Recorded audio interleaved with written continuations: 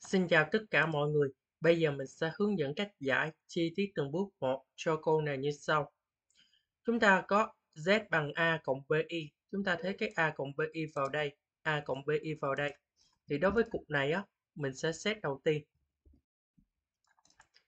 Thì cái cục này chúng ta sẽ có là căn bậc 2 của a bình phương cộng với lại b trừ 2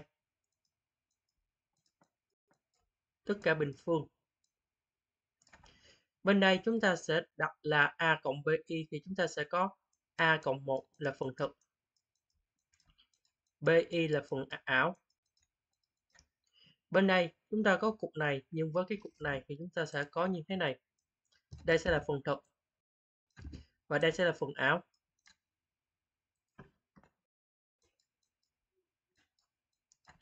Như vậy, thật đi với thật, ảo đi với ảo.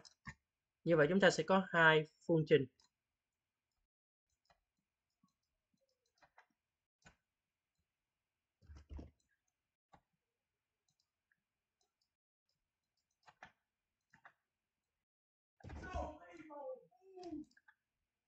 Như vậy vì hai cái cục này giống nhau cho nên chúng ta sẽ có A cộng 1 bằng B.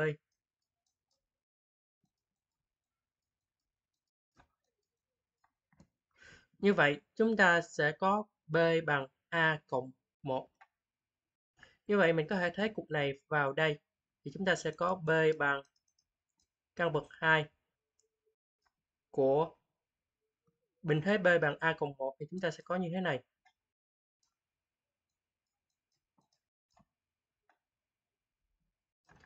Hoặc là mình lấy cái cục trên cũng được.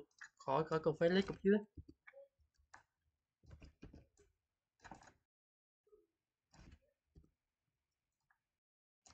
Như vậy, A cộng 1 thì chúng ta sẽ có A cộng 1 trừ 2 là A trừ 1. Tất cả bình phương. Sau đó bình phương hai bên. Để bỏ cái căn bậc 2 đi.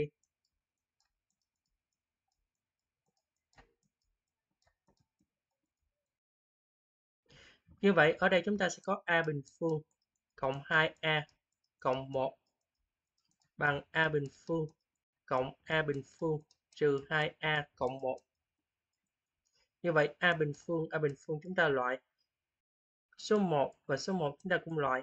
Như vậy để cái hai a sang bên đây, chúng ta sẽ có A bình phương trừ 4A bằng 0. Như vậy chúng ta giải phương trình này thì chúng ta sẽ ra được hai nghiệm. Đó chính là A bằng 0 và A bằng 4. Khi chúng ta có A bằng 0, chúng ta thế cái cục này vào đây thì chúng ta sẽ B bằng 1 và A bằng 4 chúng ta thế vào đây, chúng ta sẽ có B bằng 5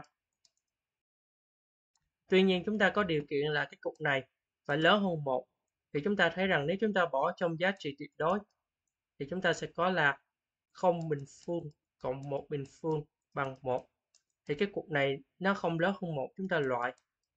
Cục thứ hai là 4 bình phương cộng 5 bình phương.